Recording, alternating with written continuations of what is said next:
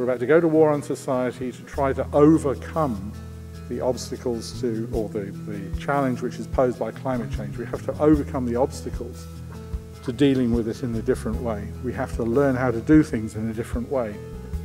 When America started off at the beginning of the Second World War, it gave itself a matter of, is it two years? To be able to change its industry onto a military footing. And it did it all within a matter of six months. Within six months, it was it met all of its targets. I'm saying that there is a possibility of doing it if you have the social and you have the political consensus and will to do it. What can you tell us about um, what the international Baha'i community is and how they're active in different affairs around the world? Well, as mentioned, we don't have any clergy that are professional Baha'is. So Baha'is organize at the local, national, and through elected bodies of nine members, uh, elected you know, very democratic process with no nominations, no campaigning. Uh, so it's really selecting the best in the community as seen by the people themselves in the community. And so uh, the Baha'is, I mean, there's a national Baha'i community in Australia, in New Zealand, in each of the Pacific Islands, and, and so on. And then, uh, the, then all those national Baha'i bodies elect this international body, uh, the International Council in Haifa, Israel, because that's where Baha'u'llah was sent as a prisoner by the Turkish Sultan and died a prisoner in 1892. So the Baha'i World Center is, is in the Holy Land, in, in, in, in Israel. But then we are also organized at international level. We have a Baha'i international community representation at New York United Nations. Mm-hmm. I represented the Baha'i community at the United Nations you know, conference on the human environment in, in Stockholm in 1972.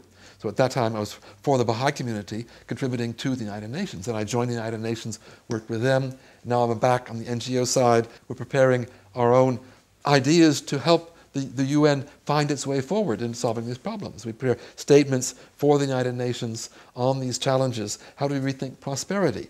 How do we bring the gender dimension into these problems? How do we you know, find a way forward with respect to economic challenges like extremes of wealth and poverty? So we try to contribute to the dialogue on these issues and help people take their thinking forward in finding positive ways towards the future. Very interesting. So yeah, you were talking about the network, I guess, of, of um, from the local to the national to the international um, community, the Baha'i community. So these these people that you elect to be on these kinds of councils, um, there's not one amongst them that's sort of a leader. The Baha'i system has gotten away from individual leaders making decisions. It's a collective process of consultation among the group, looking for the maximum diversity because we, we, we appreciate diversity. Mm. We like to see diversity you know, on, the, on these groups, mm. and they consult together and make decisions for the community in consultation with the community. So it's a very democratic process without individual leaders who make any kind of decisions. So, and there's local, these local kind of committees, yes. you know, in all the, sorts of places, are all, there? all the around all New Zealand all and world, all around the there island? are enough Baha'is in a community, yeah. they form one of these bodies. And so, how many Baha'is do you need to form one of these committees? Nine. Nine, yes. okay.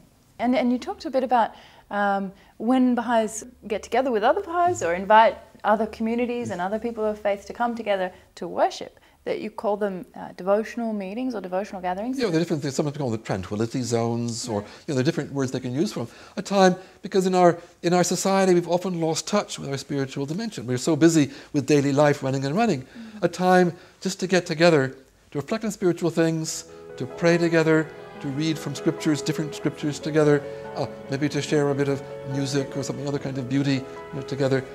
We need that for balance in our lives as well. And so Baha'is try to share this with our communities and invite others to join us in those activities. Mm. And so what are some of the other activities that Baha'is are involved with uh, around well, the world? Well, I've mentioned, you know, studying together, study circles. And so we have, because we think part of our spiritual growth is to turn to the scripture spiritual teachings, think about them, reflect on them, and this is better done in groups because you can learn more about a diversity of ways of understanding something if you're sharing views of other people. So we, we, we form small groups to study together and to learn how we can, in fact, become, you know, might say, re replicating this, carrying this process forward, inviting others to join us as well, and learning how to do that as well. Building our own capacity to be of service, not simply to talk about something, to think about something, but to act and do something. Go and visit an old person who was in need, or to help with some children's activity, or so on. And taking these principles and making them work in our own neighborhoods, in our own villages, in our own communities. Mm -hmm. And so these uh, these study circles, mm -hmm. you call them, do they happen everywhere? Everywhere, all around the world. Wherever there are Baha'is, they're trying to organize these, inviting others to join in them. And that's one way in which we're saying this is how we can transform society. Because it's not going to be from the top down, right. to build it from the bottom up. In each group, saying we're facing big problems in the world. Let's work together to find solutions to them. We need everybody to do that process. So we invite everybody to join us in that process of transformation. And so, do you have to be specially trained to no. run these things? No, that's that's part of, of the, the, wonderful thing that we don't have any clergy, we don't have any professional Baha'is. Everybody can learn to do this. Hmm. And part of the process is building that capacity to invite others to do it as well. Because that's the only way we're going to transform 7 billion people on this planet. It's not be waiting until we have experts who can somehow do this process, when people doing it for themselves and growing together in that process and transforming. Thank you so much for uh, being our special guest today. In case you've just joined us, just to let you know that we're welcoming you. This is Baha'i on Air, and we're welcoming you from the Tasmanian Baha'i Centre uh, in Hobart, in Tasmania. And our special guest has been Professor Arthur Dahl um, from the International Environment Forum and um, the International Baha'i Community. So thank you very much, thank you. Professor Dahl.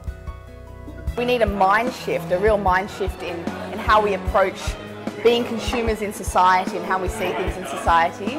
Just knowing about the signs isn't enough. You know, we need to have the human dimension, the spiritual dimension to solve these problems. And I think that's one of the themes that's really come out this weekend. We have to think differently. If you're going to have the same results, keep doing the same thing. But now we've got to change the way that we do things because times are changing. People just accept that climate change is an issue and that we need to act on it. Well, I've been interested in saving the planet for the last 30 years and wondered why nobody else was. And so now I can see there are other people interested.